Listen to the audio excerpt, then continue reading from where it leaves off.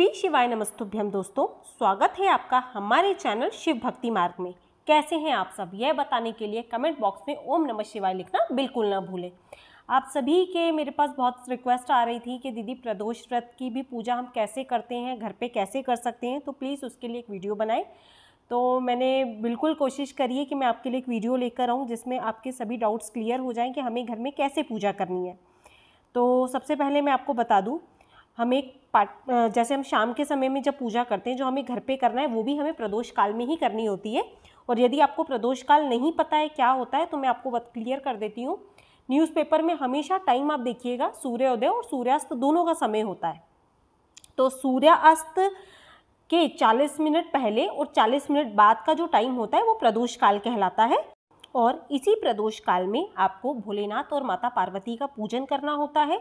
आप चाहें तो मंदिर जाकर भी पूजन कर सकते हैं और यदि आप चाहें तो अपने घर में भी पूजा कर सकते हैं, कोई विधान नहीं है कि आपको मंदिर ही जाना है। यदि आप असमर्थ हैं मंदिर जाने में तो आप अपने घर में भी इस पूजन को कर सकते हैं। मैं आपके साथ पूरी विधि शेयर कर रही हूँ कि हमें क्या क्या सामग्री चाहिए, हमें पूजा कैसे करनी है और उसके बाद हम एक छोटा सा हवन भी कैसे करेंगे। सबसे पहले हम एक लकड़ी का पटिया लेंगे, उसको स्वच्छ करके गंगा जल छिड़कने के बाद उस पर लाल रंग का वस्त्र बिछा दीजिए या आप लाल रंग का नहीं तो आप सफ़ेद रंग का भी बिछा सकते हैं। इसके बाद जो हमने थाली में जो सामग्री ली है, उसमें मैंने यहाँ पर भोलेनाथ को चढ़ाने के लिए खीर का प्रसाद लिया है, पंचामृत है हमारे पास, जल है, अबीर गुलाल है सब तरह के पुष्प हैं, हमारे पास बेलपत्र है, जो भी आपके घर में देखिए सामग्री हो।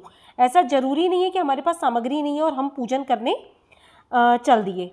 देखिए, कुछ चीज़ें ऐसी होती है जो हमारे घर में इजीली अवेलेबल होती हैं, परंतु अगर आपको कुछ चीज़ नहीं मिल रही है तो बहुत बड़ी बात नहीं है कि हमें वही चीज़ें चाहिए जो हमें नहीं मिल पर, मिल पा रही है। देखिए, भगवान हमेशा भाव देखते हैं। तो आप सच्चे भाव से जो आपके पास चीज़ें हैं, आप उससे पूजन करिए। देखिए, अब मैं क्या कर रही हूँ थोड़े से अक्षत और पुष्प लेके चौकी पे पहले मैं थोड़े से डाल रही हूँ, यानी कि प्रभु का आह्वान कर रही हूँ। और भगवान का आह्वान करने के बाद हमने यहाँ पे माता पार्वती, शिव जी और गणेश जी का मतलब परिवार यहाँ पर स्थापित किया है। गणेश जी का हमने आह्वान किया है, क्योंकि सबसे पहले गणेश जी को बुलाया जाता है। अब थोड़े से मैं अक्षत और फूल गणेश जी की, मेरे पास एक चांदी की छोटी सी मूर्ति है, मैं उसके लिए एक चौकी बना रही हूँ मतलब उनको एक आसन देने के लिए मैंने पुष्प और चावल रखे हैं और एक प्लेट में जहाँ पे हम शिवलिंग रखेंगे उसमें भी मैंने चावल और थोड़े से फूल रखे उन्हें स्थान देने के लिए। अब हम गणेश जी को पहले जल से स्नान करा लेंगे और शिव जी के शिवलिंग को भी हम स्नान करा लेंगे। यहाँ पे मेरे पास पारत का शिवलिंग है, जिसे मैं स्नान करा रही हूँ। स्नान के लिए या तो आप फूल ले सकते हैं या आप दूरवा ले सकते हैं। मेरे पास यहाँ पे फूल है, मैं यहाँ फूल से स्नान करा रही हूँ। उसके बाद मैं पंचामृत से भगवान को स्नान कराऊँगी। पंचामृत कैसे बनाते हैं, अगर आपने नहीं देखा हो तो मैंने वीडियो डाली हुई है चैनल पे। मैं भोलेनाथ को भी पंचामृत से स्नान करा दूँगी। और स्नान कराने के बाद हमें से भोलेनाथ और गणेश जी का वापस से अभिषेक करना है। यानी कि पंचामृत में जो भी सामग्री हमें चढ़ाई है उसे हमें जल द्वारा साफ़ ज़रूर करना चाहिए। अच्छे से भोलेनाथ और गणेश जी को मैं स्नान करा रही हूँ। देखिए, फूल भी आप ले सकते हो। जैसे कि मैंने बताया, अगर आपके पास अशोक के पत्ते हैं या आम के पत्ते हैं, आप उनसे भी स्नान करा सकते हो। परंतु पुष्प ऐसी चीज़ है जो आराम से हमें मिल जाती है। तो मैं यहाँ पे फूल की सहायता से ही भगवान को स्नान करा रही हूँ। अच्छे से आप स्नान करा लीजिए, अभिषेक कर लीजिए भगवान का और ये सारी पूजा हम प्रदोष काल में ही करते हैं। तो अब मैं क्या करूँगी? गणेश जी को और हमारे जो शिव जी हैं, उन्हें मैं स्वच्छ साफ़ कपड़े से पहुँच के, यहाँ पे मैं एक स्वच्छ मंदिर का टॉवल मेरा अलग रखती हूँ, उसी से मैं भगवान को पहुँच के, जो हमने चौकी दी है भगवान को, हम उस पर विराजमान कर देंगे गणेश जी को सबसे पहले। इसके बाद हम शिव जी को भी स्नान करके स्वच्छ करवा के, हमने जो प्लेट में जो मैंने यहाँ पे फूल और अक्षत रखे हैं, उन्हें आसन देने के लिए, हम उस पर यहाँ पे विराजमान कर देंगे। भगवान के अभिषेक के बाद अब हम एक सबसे पहले दीप प्रज्वलित करेंगे क्योंकि किसी भी पूजा में सबसे पहले दीप को प्रज्वलित किया जाता है। दीप प्रज्वलित करने के बाद ही पूजा प्रारंभ की जाती है, क्योंकि दीपक साक्षी होता है आपके पूजन का। अब मैं दीपक का भी पूजन कर दूँगी, हल्दी, कंकु, रोली लगाकर। इसके बाद थोड़े से पुष्प से भगवान का पूजन करेंगे, थोड़े से जल से आचमन ज़रूर कर लीजिएगा। उसके बाद थोड़े से पुष्प ज़रूर रखूँगी। दीपक का पूजन इसलिए अवश्य होता है, क्योंकि वह अग्निदेव का स्वरूप माने जाते हैं।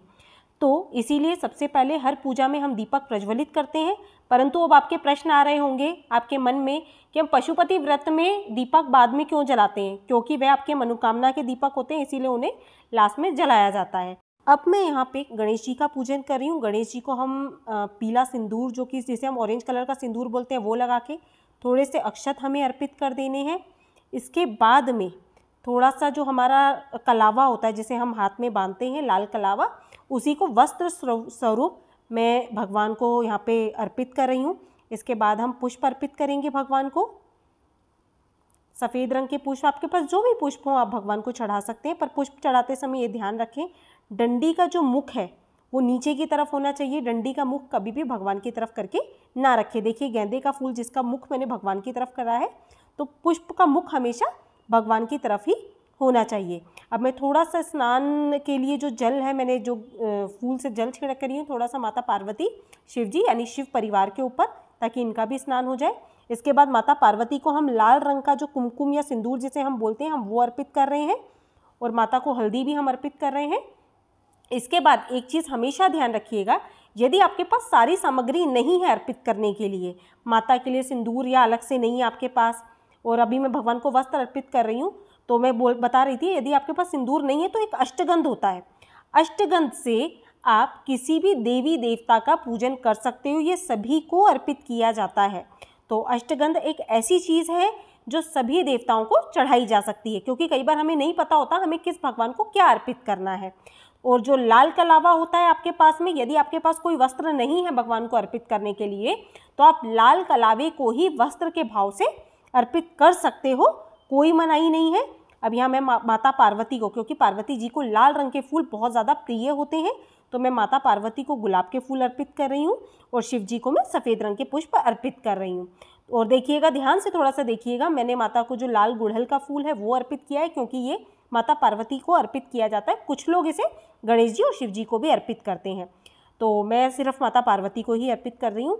अब मैं शिवलिंग की चंदन से पूजन कर रही हूँ। चंदन के बाद में यहाँ पे मैंने थोड़ी सी भस्म चढ़ाई है, भगवान को अष्टगंध चढ़ाया है। देखिए, मैंने आपको हमेशा बताती हूँ, बहुत कन्फ्यूज़न है आपको, चंदन नहीं, आपके पास सिर्फ़ एक आप अष्टगंध ज़रूर ला के रखो। अब मैं थोड़े से अक्षत यहाँ पे भगवान को चढ़ा रही हूँ और शिव जी को ध्यान रखिएगा, जो अक्षत चढ़ते हैं वो सफ़ेद अक्षत चढ़ते हैं, हल्दी मिले अक्षत शिव जी को नहीं चढ़ाए जाते हैं। तो उसका थोड़ा सा विशेष ध्यान रखिएगा, सिर्फ़ आप अक्षत चढ़ाएँ। अब मैं यहाँ पे बेलपत्र चढ़ा रही हूँ, पीला चंदन लगा के। पीला चंदन, सफ़ेद चंदन या अष्टगंध जो भी आपके पास, यहाँ पे मैं अष्टगंध भी लगा रही हूँ और चंदन भी लगा रही हूँ। तो आप चंदन भी लगा सकते हो, आपके पास अष्टगंध है, आप वो भी लगा सकते हो। देखिए, भगवान सिर्फ़ भक्ति भाव देखते हैं, आपके पास जो चीज़ें हों, परंतु किसी गलत चीज़ों का प्रयोग ना करें, क्योंकि शिव जी की पूजा में शंख का प्रयोग नहीं किया जाता, तुलसी का प्रयोग नहीं किया जाता है। और एक चीज़ का विशेष ध्यान रखें, जब आप शिवलिंग के ऊपर बेलपत्र को अर्पित करते हैं तो जो चिकना वाला भाग होता है, वो शिवलिंग के ऊपर रखा जाता है। और किसी भी पूजन में जो शिवलिंग होता है, यानी कि जो उनका मस्तक होता है, जो सिर, सिरा कहा जाता है, जो ऊपरी भाग होता है, उसे कभी भी खाली नहीं रखना चाहिए। उस पर आप अष्टगंध डाल दीजिए, उस पर आप चावल, अक्षत जो रखना चाहें, वो रख सकते हैं। थोड़ा सा यहाँ पे लाइटिंग का इफ़ेक्ट अच्छा नहीं आ रहा है। तो अब मैं यहाँ पर जो हमारे फूल होते हैं, आंकड़े के फूल, जो कि भगवान को बहुत ज़्यादा प्रिय होते हैं क्योंकि भोलेनाथ को हर वह चीज़ चढ़ाई जाती है जो अन्य देवी देवताओं को नहीं चढ़ती। भोलेनाथ को यहाँ पे धतूरा अर्पित कर रही हूँ। यदि आपके पास धतूरा है तो बहुत अच्छी बात है और कोई फूल नहीं है तो आप धतूरे के फूल भी भोलेनाथ को अर्पित कर सकते हैं। इसके बाद में हम थोड़ी सी यहाँ पे मिश्री और जो भी हमारे पास पुष्प वगैरह पूजन के लिए जो मैंने यहाँ पे लकड़ी रखी है, इन्हें हम पूजन में ही इस्तेमाल करेंगे। इसके बाद में भगवान पे थोड़ी सी यहाँ पे भस्म मेरे पास है, जो आप देख सकते हो यहाँ पे जो छोटे पैकेट में है वो भस्म है और भाँग वगैरह मैं अक्सर रखती हूँ भोलेनाथ की पूजा के लिए तो मैं थोड़ी सी भस्म और भाँग अर्पित करूँगी। और यदि आपको जानना है कि हम घर पे भस्म कैसे बना सकते हैं तो आप मुझे बताइएगा। हम बीले की भस्म भी घर पे बना सकते हैं, हम कंडे की भस्म भी बना सकते हैं। के बाद हम भोलेनाथ को अबीर और गुलाल, जो कि आपको एक छोटी डिब्बी में दिख रहा है, ये मेरे पास अबीर है और गुलाल है। गुलाल, जो कि सिंदूरी कलर में आता है, वो गुलाल कहलाता है, जो कि आप भोलेनाथ को चढ़ा सकते हैं। सफ़ेद रंग का अबीर होता है, ये भी आप भोलेनाथ को चढ़ा सकते हैं। देखिए, यहाँ पे मेरे साथ इतनी सारी मेरे पास पूजन सामग्री है तो मैं यहाँ पे अर्पित कर रही हूँ, क्योंकि मैं हमेशा पूजन करती रहती हूँ। और यदि आपके पास कुछ नहीं है तो आप केवल अष्टगंध से भी पूजन कर सकते हो, कोई मनाही नहीं है। अष्टगंध सभी भगवानों को चढ़ता है। के बाद मीठे स्वरूप, थोड़ी सी शक्कर हमने भगवान को अर्पित कर दी। अब हमने दीपक तो पहले प्रज्वलित कर लिया था अब हम धूप यहाँ पे प्रज्वलित कर रहे हैं, क्योंकि ये मैं बाद में ही प्रज्वलित करती हूँ। दीपक में सबसे पहले प्रज्वलित कर देती हूँ। और दीपक का विशेष ध्यान रखें, कभी भी उसे ज़मीन पर नहीं रखना है। किसी थाली में ही आप उसे रखें, कभी भी डायरेक्ट ज़मीन पे नहीं रखा जाता। इसके बाद मैं अगरबत्ती को प्रज्वलित कर रही हूँ। अब कुछ लोगों का प्रश्न आ रहा होगा कि दीदी, आपने ना दीपक से ही अगरबत्ती को जला दिया है। तो देखिए, दीपक से दीपक कभी नहीं जलाया जाता। आप अगरबत्ती या धूपबत्ती को जला सकते हो। दीपक से दीपक को कभी भी हम नहीं जलाते हैं। तो आप, अगरबत्ती या धूप दीप है आपके पास तो आप उसको जला सकते हो। और देखिए, कई बार क्या होता है, हमें बहुत जल्दी जल्दी हो रही होती है तो हमारे पास इतना समय होता ही नहीं है कि हम एक एक एक एक चीज़ पे थोड़ा सा विशेष ध्यान दे पाएँ। यदि गलती से आपसे कोई गलती हो जाती है तो भगवान भी उसे क्षमा कर देते हैं। तो अब मैं यहाँ पे मौसमी जो मेरे पास फल था, वो मैंने अर्पित कर दिया भगवान को।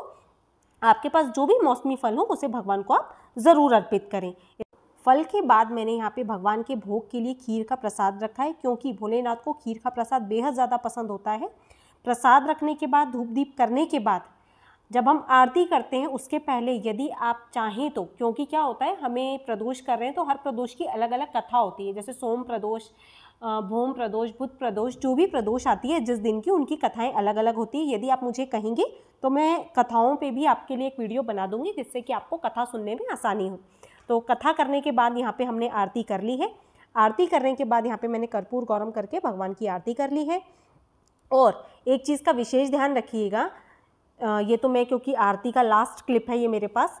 जब आपकी आरती हो जाए, जब आप कर्पूर गौरम कर रहे हो, उसी समय आपको कर्पूर को प्रज्वलित करना चाहिए उतनी देर के लिए जितनी देर आपका कपूर जब तक आपका कर्पूर गौरम हो रहा है, उतनी देर ही वो कपूर चलना चाहिए। पूरी आरती में कपूर कभी भी नहीं जलाना चाहिए, क्योंकि मेरी आरती हो चुकी थी, उसके बाद ही मैंने कर्पूर जलाया था। अब मैं यहाँ पे एक थाली में स्वास्तिक बना रही हूँ, क्योंकि हम एक छोटा सा हवन भी करने वाले हैं यहाँ पे। घर पे आप बहुत छोटा सा हवन आराम से कर सकते हो, क्योंकि हवन घर की हर नेगेटिव एनर्जी को दूर कर देता है। और हवन के लिए जो भी आप, जो भी बर्तन या कुंड रखते हो, उसे कभी भी आपको डायरेक्ट ज़मीन पे नहीं रखना होता। इसीलिए मैं थाली में स्वास्तिक मैंने बना दिया। और मैंने थोड़े से फूल अक्षत रखने के बाद ही हवन के इस छोटे सा जो मेरे पास कुंड था, ये मतलब हमें पूजा शॉप पे आराम से मिल जाता है या मिट्टी की दुकान पे भी जो बर्तन बनाते हैं उस पर मिल जाता है। हवन कुंड का भी पूजन अवश्य आपको करना है। आप हवन कुंड का पूजन रोली, कंकु अक्षत से करिए, उससे जल का आचमन करने के बाद ही आपको अपना हवन शुरू करना है। अब यहाँ पर मैंने कंडे लिए, थोड़ी सी जो मैंने आपको बताया था, आम की जो मेरे पास लकड़ी है, उसी से मैंने ये कुंड तैयार करा है। जिससे हम हवन करने वाले हैं। देखिए, बहुत आराम से घर में आप पूजन कर सकते हैं। खीर की यहाँ पे आप चाहें तो सात आहुति दे सकते हैं, आप ग्यारह दे सकते हैं, आपका परिवार, आप सब मिलके इक्कीस आहुति दे सकते हैं। आपको जितना एक सौ आठ आहुति देना है श्री शिवाय नमस्तुभ्यम, आपको कुछ नहीं आता तो श्री शिवाय नमस्तुभ्यम या ओम नमः शिवाय मूल मंत्र का जप करते हुए पूरे परिवार से आप आहुति ज़रूर दिलवाएँ। ये एक छोटा सा हवन जो हम करते हैं, ये हमारे घर की पूरी नेगेटिव एनर्जी को दूर करता है और आपकी पूजन भी हवन के साथ ही संपन्न होता है। और यदि थोड़ी सी दिक्कत जा रही हो तो आप अपने हवन कुंड में, यदि आपको थोड़ा सा होता है कि अग्नि ठंडी होने लग जाती है तो आप थोड़ा थोड़ा कर्पूर ज़रूर डालते रहें। इससे कि आपका हवन बहुत अच्छे से हो जाएगा, धुआँ भी नहीं आएगा। और समटाइम्स क्या होता है कि वो कंडे जल नहीं पाते हैं तो उसके कारण हम अच्छे से हवन नहीं कर पाते तो ये जो प्रसाद की खीर है, उससे हमने हवन कर लिया है। हवन करने के बाद आचमन जल से ज़रूर कर लीजिए जब आपका हवन खत्म हो जाता है। यानी कि जब आप हवन कर चुके हैं, उसके बाद अग्नि देवता से क्षमा याचना भी मांगे, भगवान से भी हमें क्षमा याचना मांगनी होती है कि जो हमने भक्तिहीन, क्रियाहीन, यानी जो बिना भाव के हमने पूजन करा है, परंतु पूजन सच्चे मन से किया है। हम बच्चे हैं, नादान हैं, हम नहीं जानते कैसे पूजन किया जाता है, कैसे आह्वान किया जाता है, कैसे भगवान को प्रसन्न किया जाता है। तो हे तो हे भोलेनाथ, मेरे इस पूजन को स्वीकार करें, सच्चे मन से मत्था टेक लीजिए यहाँ पे आपके प्रदोष की पूजन जो है वो समाप्त होता है और यही पूजन होता है जो कि आपको करना होता है, सच्चे भाव से, सच्ची श्रद्धा से करें। और यदि वीडियो थोड़ा लंबा हो गया मैं मानती हूँ, परंतु यहाँ पे मैंने एक एक बात को बताने की पूरी कोशिश की है कि आप पूजन कैसे करेंगे। तो अगर वीडियो आपको अच्छा लगा हो तो चैनल को सब्सक्राइब करना बिल्कुल ना भूलें। बेल बटन दबा के शिव भक्ति मार्ग परिवार का हिस्सा ज़रूर बनिए, ताकि मैं जो भी नए वीडियोज़ आपके लिए लेकर आऊँ, वो आपको आसानी से मिल जाए। मिलते हैं अपने नेक्स्ट वीडियो में। तब तक के लिए श्री शिवाय नमस्तुभ्यम। जय माता रानी दोस्तों।